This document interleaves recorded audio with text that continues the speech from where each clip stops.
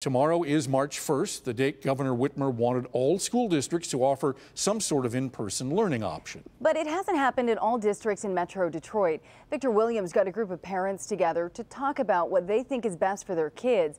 He joins us with more.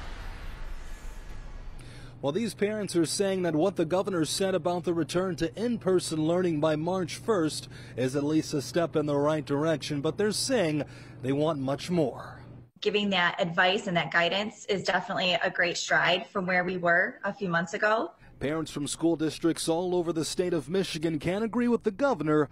They're more than ready for the in-person learning to resume at schools. But we'd like to to see more uh, strength in that rather than just a kind request to get our schools back in, in open uh, full time face to face. These parents are saying it's been rough watching the effects not physically being in the school has taken on their children. I have a, a five year old special needs daughter who all summer long would put on her book bag and go to the front door and ask for her bus driver to take her to school. Watching what the school closures are doing to all of our children of all ages, um, frankly, just scares me.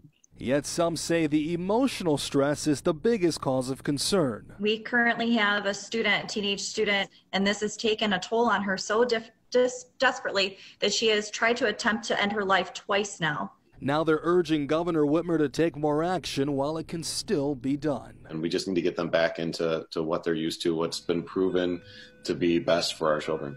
Now, he did reach out to the governor to get some type of comment on this, but with today being Sunday, we have yet to hear anything back from her office. On top of that, there is a rally being organized by these parents set to be done on March the 6th. That's a Saturday, so of course we'll be there.